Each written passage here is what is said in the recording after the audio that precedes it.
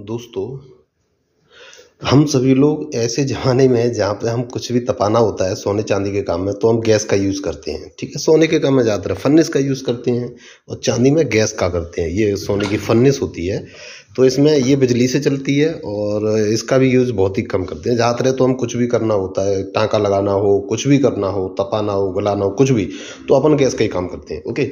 लेकिन आज मैं हूँ एक ऐसी जगह पे वहाँ पर आज भी बहुत पुराने ज़माने की एक चीज़ है, उससे काम करते हैं। वो क्या है? देखिए एक स्टोव टाइप का है। यहाँ पे एक छोटी सी टंकी है और दो पाइप लगे हैं इसमें। और यहाँ ढक्कन खोल के इसमें आप मिट्टी का तेल, डीजल, पेट्रोल, कुछ भी आप डाल देते हैं। उसके बाद क्या करते हैं, ये एक हवा देने का है। ये देखिए।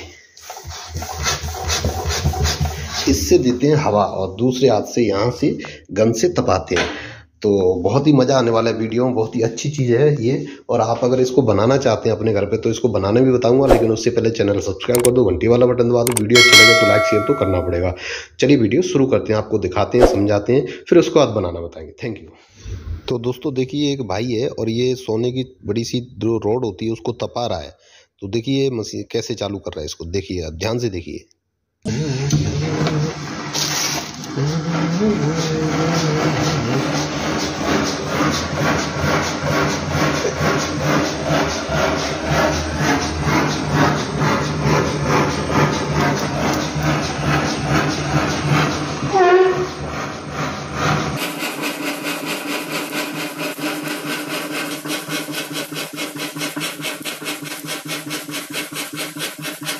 outro.